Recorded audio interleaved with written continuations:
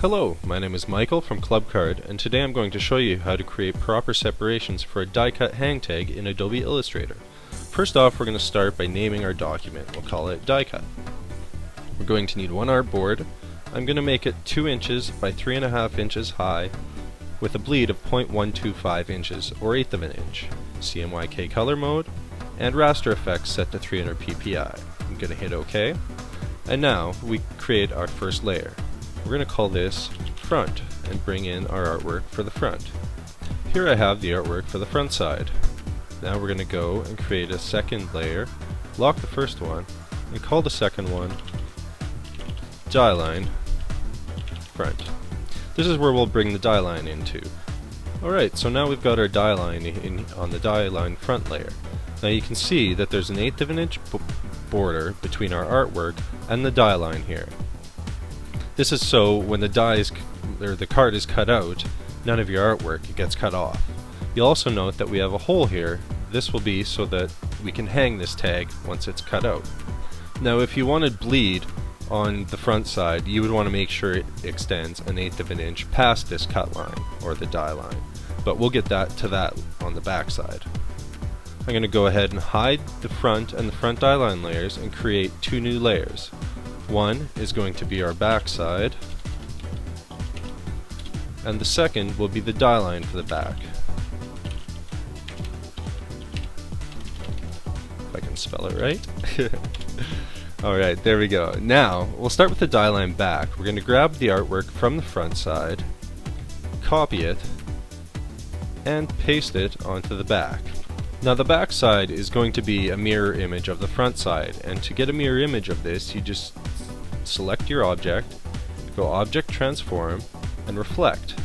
We're going to reflect it vertically, and there you go, you have a mirror image for the back side. Now I'm going to go ahead and lock the die line on the back, and paste our artwork for the back side. This is our artwork. Now you can see that we have a bleed on this, so it extends 1 8 of an inch past our trim line, and additionally all of our text is 1 8 of an inch in from the trim line.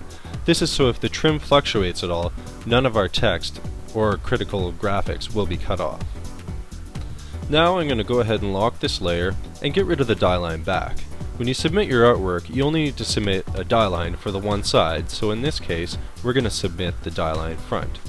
Now I'm going to go ahead and save three separate files for print, one for the back, one for the die line, and one for the front.